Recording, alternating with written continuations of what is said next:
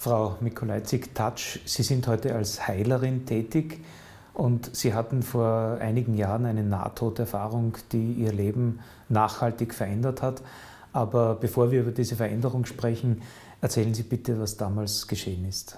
Also am besten nehme ich Sie mit auf eine Reise rückwärts, gut 55 Jahre.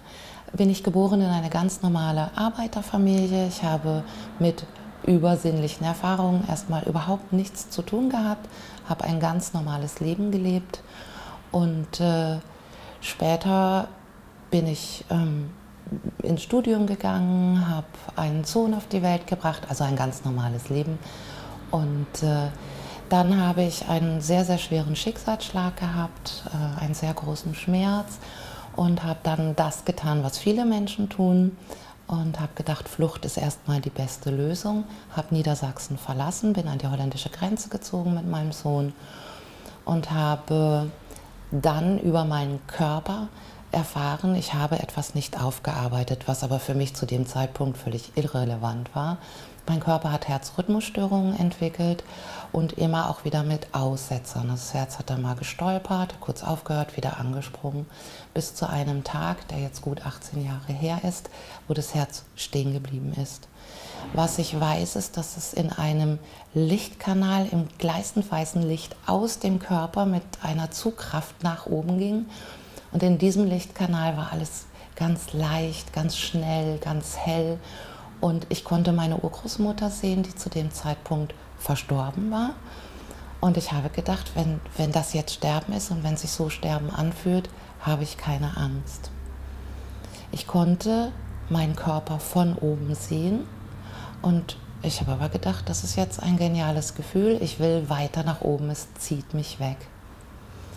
Bis ich als letzten Gedanken hatte, mein kleiner Sohn, ich kann ja gar nicht weg, ich muss zurück in diesen Körper. Ich war alleinerziehende Mutter zu dem Zeitpunkt und ich muss irgendwie wieder zurück. Das Letzte, was ich weiß, eine Stimme, die ich gehört habe, die gesagt hat, also du kannst wieder zurück, aber dann hast du eine Aufgabe. Und dann ging es mit einem Höllenschmerz zurück in diesen Körper. Ich habe nie vorher und nie hinterher mehr so einen starken Schmerz gespürt. Und als ich richtig wieder wach war, wusste ich, irgendetwas ist anders. Was war konkret anders? Es fing an, dass ich die Schmerzen der anderen Menschen in meinem Körper gespürt habe und dass ich das Gefühl habe, das muss ich wegmachen. Das war für mich natürlich völlig übersinnlich und auch nicht fassbar. Und ich habe gedacht, das muss wieder weg. Und es gab dann ein Ereignis, meine Freundin kam zu Besuch und ich habe gesagt, sag mal, mein Knie fängt an weh zu tun hast du irgendwas mit deinem Knie gemacht? Und hat sie gesagt, ja, sie hätte Treppenstufen verfehlt. Und dann habe ich gesagt, ich habe das Gefühl, ich muss das wegmachen. Und dann hat sie gesagt, woher weißt du das? Und wenn du es wegmachen kannst, ist das ja genial, dann habe ich keine Schmerzen mehr. Ich habe gesagt, ich weiß nicht, woher ich es weiß. Ich spüre es in meinem Körper. Und dann habe ich versucht, es rauszuziehen. Nach einer Viertelstunde ungefähr war sie schmerzfrei. Das heißt, Sie hatten keine bestimmte Technik, sondern Sie haben es einfach irgendwie probiert. Mhm. Und dann hat sie gesagt, sie ist schmerzfrei. Und dann habe ich gesagt, das bildest du dir ein, das kann nicht funktionieren. Wie soll sowas funktionieren? Und dann haben wir angefangen, uns einen Spaß daraus zu machen.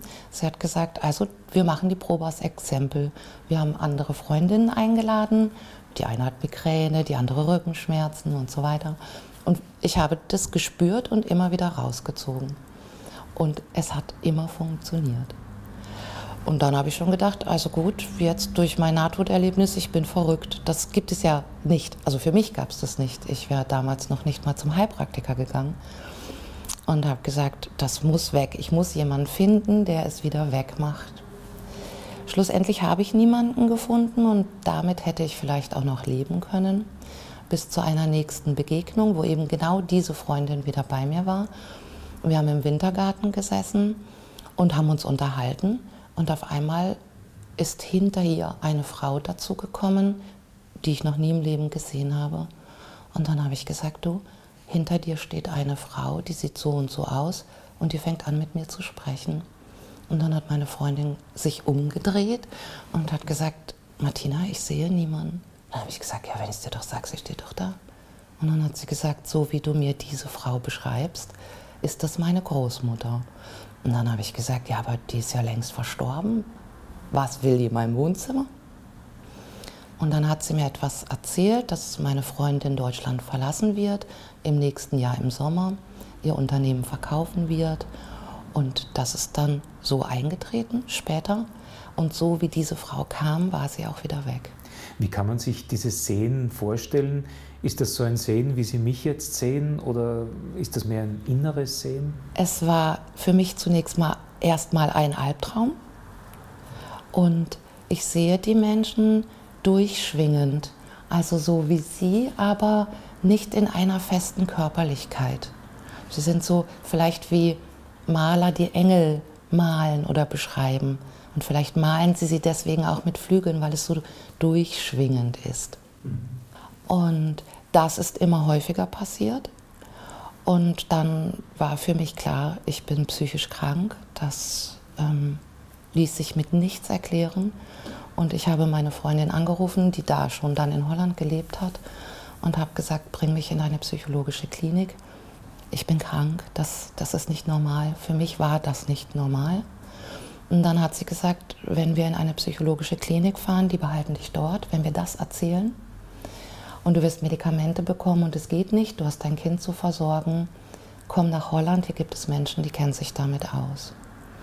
So bin ich zu einem Heiler gekommen und Medium, äh, wie ich ja heute selber arbeite, in einer ganz kleinen Garage. Dieser Mann war blind und er hat mich angeguckt und hat gesagt, ah, du denkst, du bist verrückt. Und dann sage ich ja und ich bin hier, damit sie das wegmachen. Und dann hat er gesagt, das kann ich nicht. Du hast paranormale Fähigkeiten, das ist in Insiderkreisen völlig normal, das gibt es und das ist eine Gabe, die du bekommen hast durch dein Zurückkommen in den Körper und die musst du leben. Und dann habe ich gesagt, das will ich nicht. Doch, hat er gesagt, das musst du. Und dein Leben wird sich komplett verändern. Du wirst dein Wirtschaftstrainerbüro schließen. Du wirst in drei Praxen arbeiten, im Westen, im Süden und im Ausland. Du wirst Bücher schreiben, mit Ärzten arbeiten, in Krankenhäusern und Menschen helfen, heil zu werden. Dann habe ich den Stuhl zurückgeschoben und habe zu meiner Freundin gesagt, auf gar keinen Fall. Einer von uns beiden hat einen Knall und der bestimmt den Oberknall ich, ich muss jemanden haben, der das wegmacht. Und dann bin ich um die Welt geflogen und habe Menschen gesucht, händeringend, macht es bitte weg, in Forschungsinstituten. Ich habe die Gabe testen lassen. Es gab Kabinen, fünf Personen in jeweils diesen Kabinen, Menschen, die wir nicht sehen konnten. Und wir mussten spüren, welchen Schmerz haben diese Menschen. Und es hat für mich in vier Kabinen funktioniert und in einer nicht. Und ich habe mich gefreut und habe gedacht, okay, ich kann es nicht. Und dann kam der Prüfer und hat gesagt, ja, in einer Kabine war niemand drin. Das haben wir extra gemacht. Also doch kein Zufall. Die nächste Katastrophe, wieder kein Zufall. Ich bin zu den Indianern gefahren, ich bin zu den Philippinern gefahren, die Tumore mit der Hand rausnehmen die englische Königin, die immer schon Heiler bei Hofe beschäftigt hat, in jedem modernen Krankenhaus in England, in der Schweiz, arbeiten Heiler. Ich bin zu großen Sehern gefahren und jeder hat mir aber immer wieder gesagt, das ist eine Gabe, du hast sie bekommen, nimm sie an. Das habe ich nicht gewollt. Ich wollte so bleiben, wie ich bin. Das heißt, Sie haben sich eigentlich mit Händen und Füßen gewehrt, um eine Aufgabe in diesem Sinn zu erfüllen. Ja, bis zu dem Abend, als mein Herz wieder anfing zu stolpern, auszusetzen. Und dann habe ich den Kollegen in Holland, heute guten Kollegen in Holland, angerufen und habe gesagt, du musst mein Herz in Ordnung bringen. Das Gleiche geht wieder los. Und dann ist er sehr ernst geworden und hat gesagt, Martina, wenn du die Gabe jetzt nicht annimmst, wird dein Sohn auch noch ohne Mama groß. Und das war der Impuls, das war der Auslöser, ich weiß noch, ich habe mich völlig wütend aufs Bett geworfen und habe gesagt, okay, was immer es ist, wo immer es herkommt, wenn ich es dann leben muss, dann nehme ich es jetzt eben an, aber ich will so bleiben, wie ich bin. Natürlich, man bleibt nicht so, wie man ist und es ist auch nicht so geblieben, wie es war. Ähm, Freunde haben sich zurückgezogen mit dieser Gabe. Es hat Angst gemacht. Viele Menschen haben gesagt, jetzt ist sie eine Hexe. Ähm, es kamen immer mehr Hilfesuchende. Ich konnte meinen Beruf als Wirtschaftstrainer irgendwann nicht mehr ausüben. Ich musste dieses Büro schließen und habe mich dann entschieden für eine Selbstständigkeit als Heilerin, Medium, Sterbebegleitung und bin angefangen, diese Dinge zu erforschen. Aus heutiger Sicht, warum haben Sie sich so gegen diese Veränderung gewehrt? Damals war es so, ich habe mir diese Welt vorgestellt mit Räucherstäbchen, Schwarzkatzer auf der Schulter. Ich bin zu Kongressen gefahren und habe Menschen kennengelernt, wo ich gedacht habe, hier liegt Genie und Wahnsinn ganz dicht beieinander. Und das wollte ich für mich nicht. Und ich hatte auch Angst vor dieser Welt. Wie wird die gelebt? Ich hatte keine Erfahrung damit. Und darum wollte ich zurück in mein ganz normales Leben. Heute weiß ich, ähm, dieses zu beschließen, aber ich will so bleiben, wie ich bin, ähm, was mir ein Stück auch gelungen ist, ist auch der Erfolg, weil ich jeden Skeptiker verstehen kann, weil ich immer sage, die Schulmedizin geht vor, die Therapeuten, die psychologische Arbeit, dass wir mit der paranormalen Fähigkeit eine gute Ergänzung zu allem haben. Natürlich heute mit dem Wissen um die Dinge, mit den vielen Erfahrungen, habe ich diese Angst verloren. Äh, ich würde sagen, ich habe sie überwunden, ich habe sie transformiert. Und trotzdem geschehen auch heute für mich immer noch unglaubliche Dinge, die, ja, das Universum ist ein geschlossenes System, es ist alles Energie und es lässt sich auch für mich aus heutiger Sicht nur mit diesen universellen Erklärungen irgendwie ja, glaubhaft machen oder einbinden in das alltägliche Leben. Noch eine Frage zu Ihrer Nahtoderfahrung. Konnten Sie das, was Sie damals erlebt haben, sofort einordnen? War Ihnen dieser Begriff Nahtoderfahrung vertraut? Das kam später. Äh, für mich war es ähm, tatsächlich ein Verlassen des Körpers und ein Zurückkommen, ganz real erlebt. Aber dass das Nahtoderfahrungen ist und dass sich das darin auch äh, als Erklärung finden lässt, kam erst später, als ich gegangen bin, Menschen zu fragen, was ist das, was ist da passiert. Und ähm, mich hat es ähm, berührt, dass die Menschen, die diese Erfahrung haben, immer wieder das Gleiche berichten. Und das hat dann für mich so den Beweis gemacht, dann muss es stimmen. Also es kann ja nicht hunderte von Menschen, tausende geben, die außer körperliche Erfahrungen machen und immer wieder davon sprechen. Dieser Lichtkanal, dieses nach oben ziehen und auch, das war auch interessant, das ganze Leben noch einmal im Alldurchlauf zu sehen. Auch die Emotionen, die man erlebt hat, auch die man anderen zugefügt hat. Manchmal ist man ja auch ein bisschen wütend, wo andere verletzt sind, die dann wieder bei sich selbst zu spüren. Das ist auch lebensverändernd. Heute überlege ich mir sehr wohl, was möchte ich aussenden, welche Energien möchte ich mich begeben, weil ich weiß, dass es wieder erlebt wird. Wie hat sich denn im Verlauf der Jahre durch Ihre Erkenntnisse, durch Ihre Erlebnisse Ihr Menschenbild verändert? Ich bin zum einen sehr demütig geworden gegenüber dieser Gabe. Früher wollte ich sie nicht, heute möchte ich das nie mehr rückgängig machen. Man lernt viel mehr Wertschätzung dem Leben gegenüber, den Menschen gegenüber, der Welt gegenüber. Das ist das eine. Dann diese Gabe ist so groß, so ich bin sehr ehrfürchtig auch darunter geworden und Heute weiß ich, dass es eben ein Leben vor dem Leben gibt, ein Leben nach dem Leben. Ich bin mir sicher, ich weiß es, ich habe es erlebt. Und ich versuche immer mehr, das Leben im Jetzt zu leben, weil ich gelernt habe, es kann in der nächsten Sekunde alles ganz anders sein. Es ist bestimmt gut, Pläne, Strukturen und Ordnungen zu haben. Das brauche ich auch für meine Berufung jetzt. Das habe ich ja in meinem Leben vorher gelernt. Aber auch den Spielraum zu haben, im Jetzt zu sein. Und für mich ist es ein ganz großes Thema, immer wieder in diese bedingungslose Liebe zurückzukehren. Und ich sehe in der Welt so, wir haben so viel Wertschätzung verloren, so viel Achtung verloren. Es stimmt mich traurig, wie Menschen miteinander umgehen. Es stimmt mich traurig, was global in der Welt passiert. Und ich denke, die Gabe war dazu da, das im Kleinen wieder zu den Menschen bringen zu dürfen und in meine kleine Welt einbinden zu dürfen.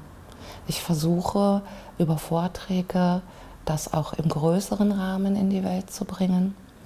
Und ich denke, es ist doch so wichtig gewesen, diese Gabe zu erhalten und sich dem Universum zu unterstellen.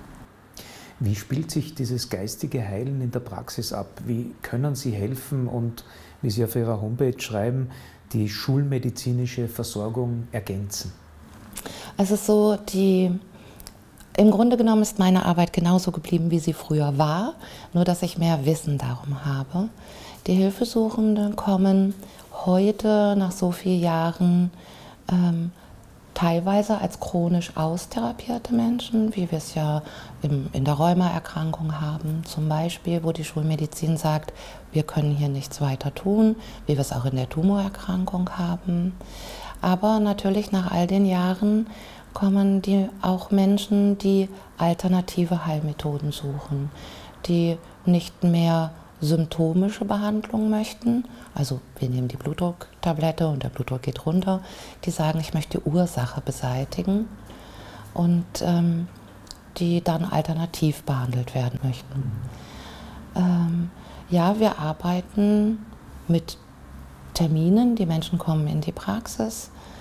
Ähm, ich gehe immer noch mit meinen Händen um den Körper herum. Heute weiß ich, dass es Physik ist. Heute weiß ich, wir haben ein Schwingungsfeld, circa 30 Zentimeter vor dem Körper, und ein Heiler tritt in dieses Schwingungsfeld ein. Und dadurch, dass er in das Schwingungsfeld eintritt, übertragen sich die Schmerzen praktisch auf den eigenen Körper. So wird spürbar.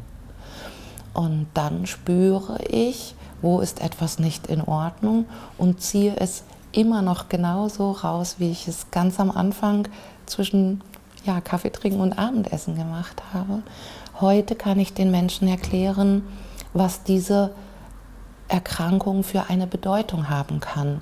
Ich habe gelernt, die Seele spricht mit uns über den Körper und man kann vielleicht aufzeichnen, schau mal dorthin, vielleicht wie bei mir war es Flucht, vielleicht darfst du noch was bewältigen, wenn die Menschen dafür offen sind. Ähm, es kommen Menschen, ob groß, ob klein, ob alt, ob jung, ob Bankdirektor oder Friseurin, alle Gesellschaftsschichten. Und ich denke, das ist dieser Erfolg, dass ich so bodenständig geblieben bin. Ich, ich liebe alle diese Menschen, ich liebe überhaupt die Menschen. Und ja, man kann nicht sagen, es kommen, es kommen Skeptiker und die sind mir am liebsten, weil ich war ja auch so skeptisch die sagen, ja, Frau Mittelleizig-Touch kann man glauben, muss man nicht, beweisen Sie das jetzt mal. Wobei ich muss dazu sagen, die Gabe beweist sich nicht. Was heißt das? Gerade dann funktioniert es nicht. Wenn ich Menschen in der Praxis habe, die sagen, so mal gucken, jetzt schauen Sie mal, total verschlossen, dann muss ich sagen, Sie, die Gabe beweist sich nicht. Und ja, wir müssen nicht Gott erleuchten, wir dürfen unsere Seelen erleuchten und spüren Sie es, fühlen Sie es, dann werden Sie spüren, dass es funktioniert. Ich werde dann oft gefragt, muss man glauben, damit es funktioniert? Heute weiß ich, es ist von Glauben unabhängig, aber wenn wir glauben, findet Heilung schneller statt. Zweifel, das wusste ich auch schon als Wirtschaftstrainerin, ist ein Zeitverzögerer. Ich habe aber Dinge erlebt, wo Menschen gar nicht wussten, dass ich arbeite zum Beispiel bei einem Menschen, der auch, ich nenne es mal so, gestorben ist. Ich erhielt einen Anruf. Dieser Mensch war gar nicht in meiner Nähe und ähm, die Ärzte haben den klinischen Tod festgestellt. Sie hatten keine Rückanbindung mehr äh, vom Gehirn zum Rückenmark. Ich kannte mich da medizinisch früher noch nicht so genau aus. Und die Ehefrau hat angerufen und hat gesagt, bitte, bitte, mein Mann soll nicht weggehen. Bitte, bitte helfen Sie mir. Und ich habe gesagt, ich kann nur das tun, was in Gottes Macht steht. Aber ich werde alles tun, was in meiner Macht steht. Und äh, wir hatten dann tatsächlich diesen Menschen wieder zurück im Leben. Ich sage dann immer, ob das jetzt gut war oder schlecht war, steht ja auf einem anderen Blatt Papier, es hat funktioniert. Und äh, als dieser Mann richtig wieder wach war, hat er zu seiner Frau gesagt, ich weiß nichts mehr, außer ich habe eine schlanke, blonde Frau gesehen, die mich ins Leben zurückgeholt hat. Und die Ehefrau hat dann gesagt, ich habe diese Frau angerufen, dass sie das tut. Das heißt, diesen Eindruck hatte er, diese Erinnerung hatte er an eine Zeit, in der er eigentlich bewusstlos war. Eben. Bewusstlos tot war, ja, wie man das dann nennt, ja. Mhm. Wie oft muss jemand im Regelfall kommen? Ist eine Behandlung ausreichend? Es ist unterschiedlich. Natürlich, ich sage, eine Krankheit, die schon 15 Jahre oder 20 Jahre besteht, ist oftmals nicht mit einer Behandlung wieder in Ordnung gebracht. Der Körper muss die Selbstheilungskräfte aktivieren und manchmal braucht er auch zwei, drei Impulse. Es ist von Körper zu Körper unterschiedlich, es ist von Erkrankung zu Erkrankung unterschiedlich. Ich habe aber auch schon Spontanheilungen erlebt, wo nach einer Behandlung der Körper alles in Ordnung bringen konnte.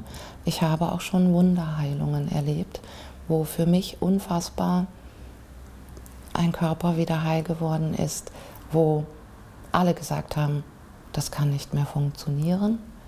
Es ähm, gibt alles. Um welche Krankheit ging es dabei? Es war Tumor-Endstadium, der ganze Körper schon voller Metastasen. Und äh, die Ärzte haben gesagt, es geht jetzt vielleicht noch sechs Wochen. Und dieser Mensch lebt heute noch und erfreut sich bester Gesundheit.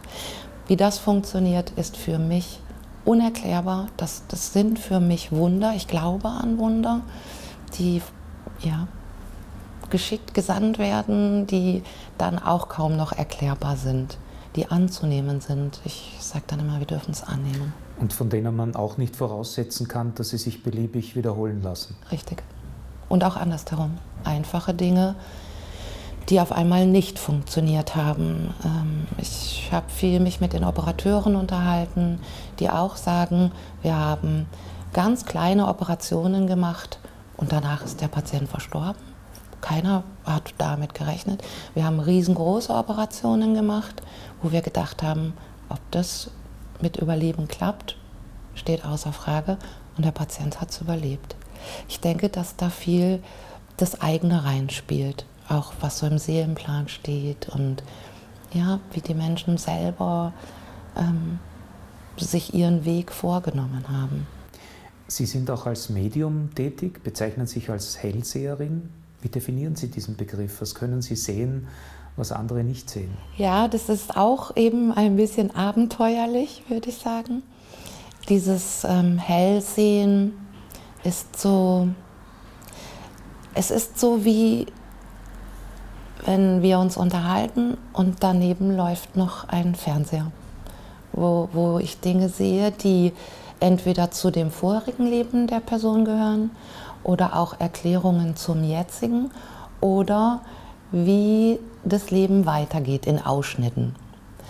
Äh, manchmal ist es nur ein Impuls, wo, wo ich meinem Gegenüber sage, sagen Sie mal, ähm, haben Sie vor, eine Ausbildung bei der Polizei zu machen, zum Beispiel.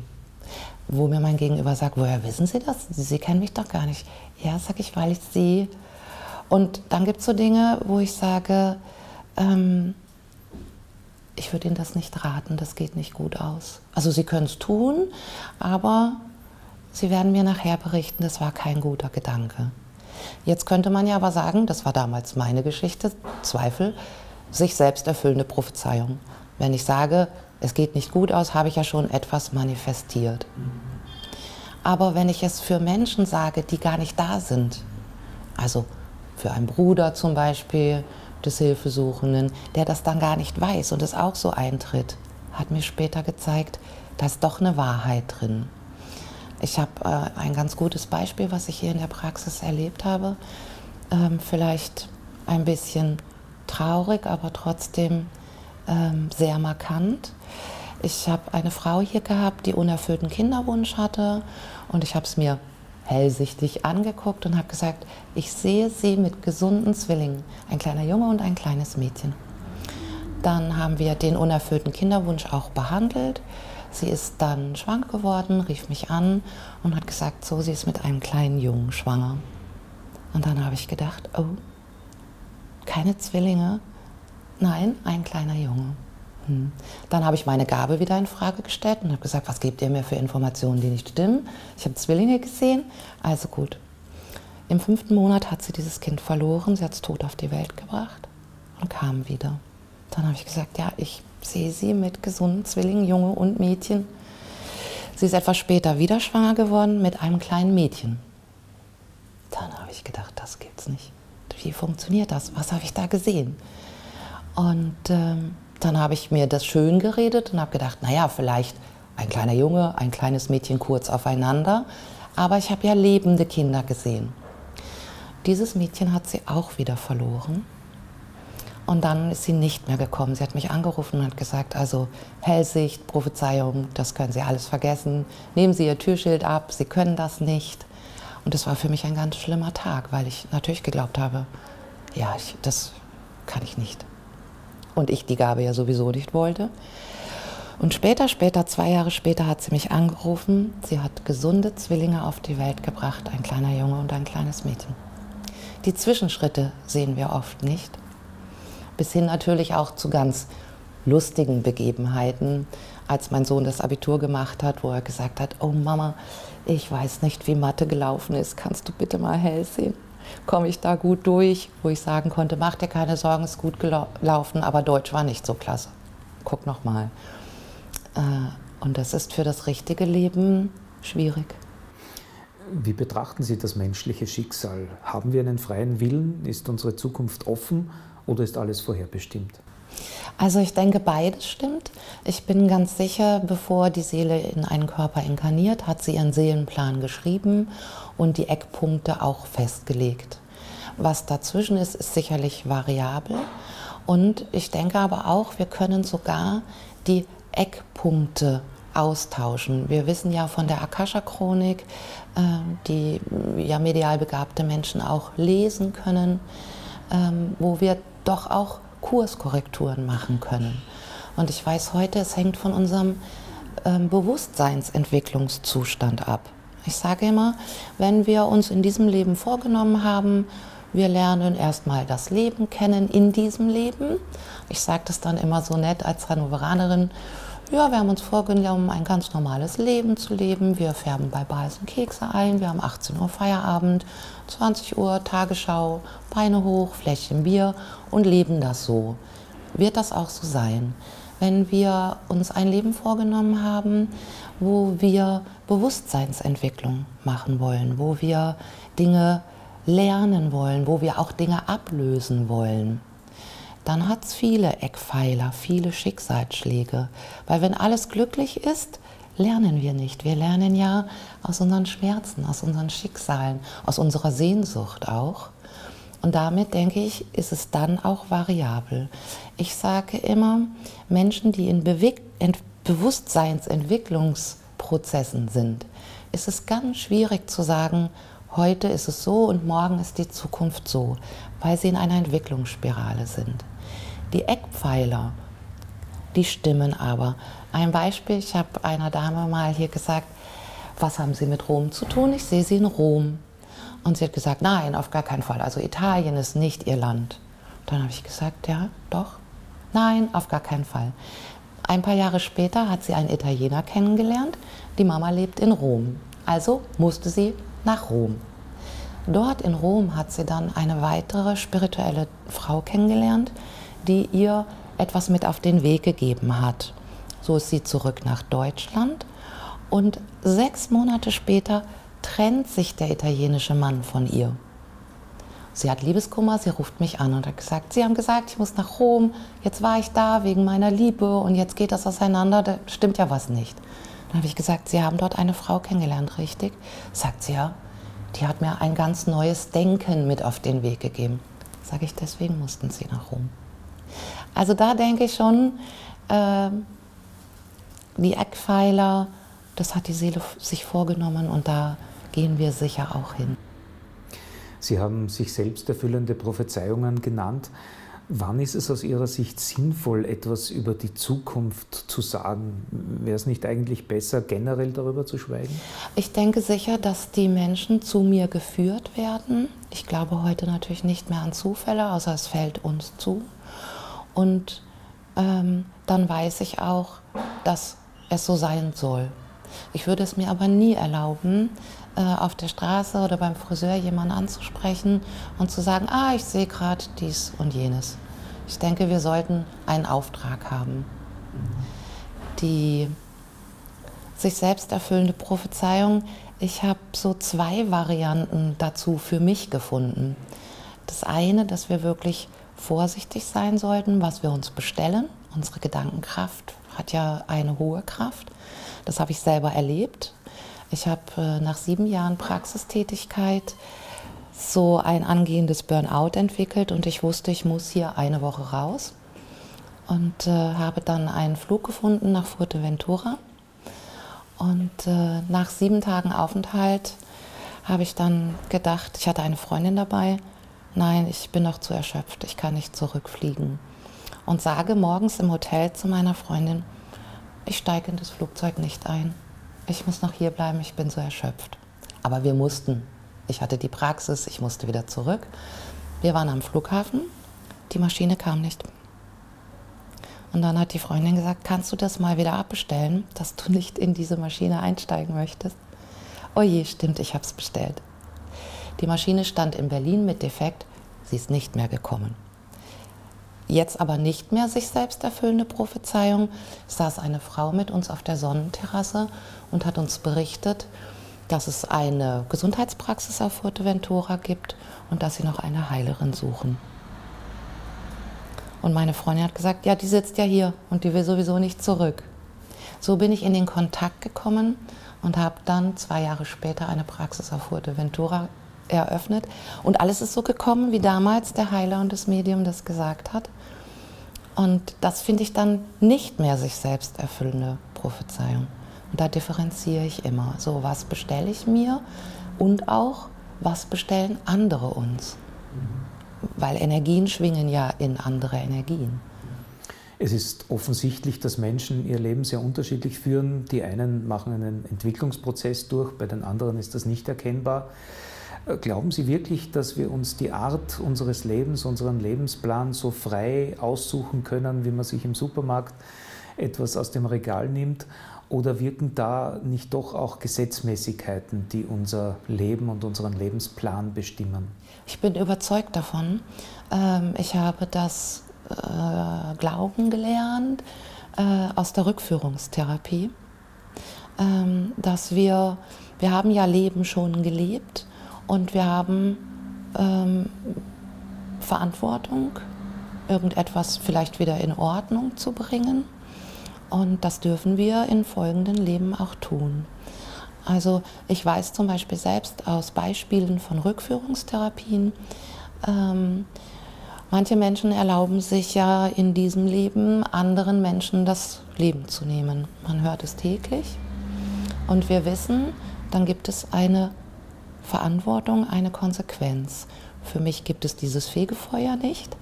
Wenn wir zurückkehren wieder auf die andere Seite, so nenne ich es immer, dürfen wir in einem späteren Leben diesem Menschen das Leben wieder schenken. Es ist eine Konsequenz. Und die zweite Konsequenz ist, dass wir das gleiche Gefühl erleben dürfen, die gleiche Emotion wie zum einen dieser Mensch, der das Leben verloren hat, beziehungsweise vielleicht auch die Angehörigen. Das heißt, wir wissen, wir inkarnieren dann wieder als ein Elternteil, schenken diesem Kind wieder das Leben und werden es verlieren, um in den gleichen Schmerz zu kommen. Und da sehe ich schon auch, äh, dass es nicht nur so ist, dass wir sagen, oh, in diesem Leben möchte ich gern leben Supermarktbesitzer. Es geht meistens um Emotionen. Ich weiß, wenn wir auf der anderen Seite sind, ähm, sind wir oft im Unglauben, weil auf der anderen Seite ist alles Licht und Leicht, Harmonie und Frieden. Und wenn die kleine Seele sagt, wie, wenn die Menschen in Menschenkörpern sind, dann trennen sie sich und dann erfahren sie Schmerz. Wo so die große Seele sagt oder die große Kraft. Ja, das ist so und das glauben wir dann aber nicht. Und wenn die kleine Seele lange genug sagt, ich glaube es aber nicht, auch nicht von denen, die schon inkarniert waren, wird die große Kraft sagen, dann geh doch mal runter und erlebe es. Ja, und die kleine Seele sagt, ja, das will ich. Dann gehen wir durch den Geburtskanal des Vergessens und dann fängt das Lebensspiel an. Ähm, und dann lernt man Trennung. Eltern trennen sich. Scheidungskinder. Es tut weh. Und dann lebt man diesen Schmerz. Ich habe dann immer gedacht, naja gut, wenn man das dann die Erfahrung gemacht hat, dann dürfte das Leben ja zu Ende sein und man kann zurück. Wir wissen aber, dass dann die zweite Lebenshälfte dafür da ist, das wieder zu transformieren, nämlich die Bindung zu leben, ohne den Schmerz. Dann hätten wir es für dieses Leben aufgelöst. Wir haben aber ja auch freies, freien Willen und wir können ja sogar sagen, ich beende mein Leben, ich will zurück. Ja, Suizid kennen wir. Ähm, ich möchte es jetzt nicht mehr weitermachen. Wissen wir aber aus der Rückführungstherapie, dürfen wir in einem nächsten Leben das nochmal machen, bis wir es gelernt haben. Sie haben den Geburtskanal des Vergessens erwähnt. Warum vergessen wir überhaupt das, was im vergangenen Leben oder in einer Vorexistenz geschehen ist? Ich bin mir sicher, dass die Seele es nicht vergessen hat. Aber zunächst mal kommen wir ja ohne ein Bewusstsein. Ich sage immer, unser Kopf ist wie eine Blackbox, wie im Flugzeug. Und diese Blackbox wird ja dann erstmal gefüllt im Laufe des Lebens. Das heißt, so Sachen wie, wenn man Hunger hat, muss man was essen, wenn du bist zu klein, das kannst du nicht, kletter nicht auf diese Bäume. Ähm, mit Lob und Tadel. Und diese Blackbox füllt sich mit Glaubenssätzen. Und das leben wir ja zunächst mal. Und später, die Seele wird immer diesen Ruf äh, es ist so die leise Stimme, die Herzensstimme, die dahinter sitzt und sagt, ja, aber ähm, wir wollten doch was anderes oder wir wollten doch das lernen. Und äh, dann treten ja Menschen in unser Leben, die das Bewusstsein wieder wecken. Also dieses Vergessen vom Gehirn durch den Geburtskanal und die Seelenstimme wieder lauter werden lässt. Das ist ja die innere Stimme und das sind für mich Menschen, die das wieder wachrütteln wie Heiler, wie ein Medium. Ähm, oder auch manche Menschen haben so Déjà-vu-Erlebnisse, die sagen, ich habe diesen Menschen einmal gesehen, aber ich habe das Gefühl, ich kenne ihn ein Leben lang. Das sind ja diese Erinnerungen. Oder sie gehen in Häuser und sie wissen, ah, hinter der Tür sieht es jetzt so und so aus. Auf Seelenebene, denke ich, haben wir das nicht vergessen, nur auf Kopfebene. Und ich denke auch nur dafür, dass es Sinn macht, weil wenn wir es doch wüssten, würden wir ja in keinen Lernprozess treten. Dann würden wir sagen, ach ja, genau, morgen liegt ja ein Baum auf der Straße und da habe ich einen Unfall, dann würden wir gar nicht erst losfahren. So stelle ich es mir vor. Sie haben ein Buch geschrieben mit dem Titel Mit Liebe zum Leben, das über Ihre Praxis erhältlich ist.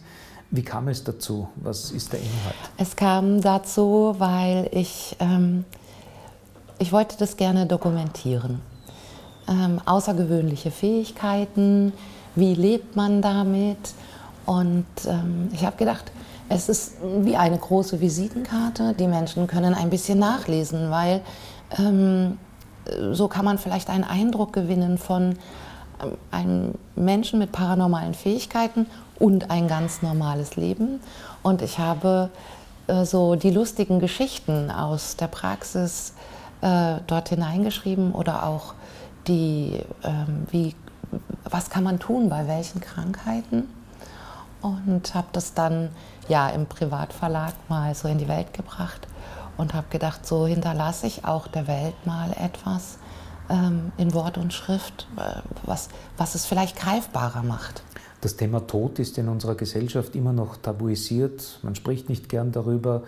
Und wenn es einmal so weit ist, dass jemand hinübergehen muss, dann wird er von Angehörigen oft zurückgehalten. Das Thema ist Angst dominiert. Was könnte man denn aus Ihrer Sicht tun, damit die Angst vor dem Tod kleiner wird? Ja, es ist mir selbst auch immer ein persönliches Anliegen, äh, den Menschen mitzuteilen, man, man muss keine Angst haben vor dem Übergang. Ich nenne es immer Übergang, weil Sterben für mich gibt es ja nicht, weil ich sehe ja die Menschen, die drüben sind. Und deswegen ähm, darf man davon ausgehen, es ist nur ein Wechseln der Ebenen, ein Wechsel der Frequenz. Es ist, man muss keine Angst haben, es ist leicht. Wir werden begleitet. Ähm, Verwandte, die schon oben sind, kommen zu uns und geben uns Geleit in diesem Lichtkanal.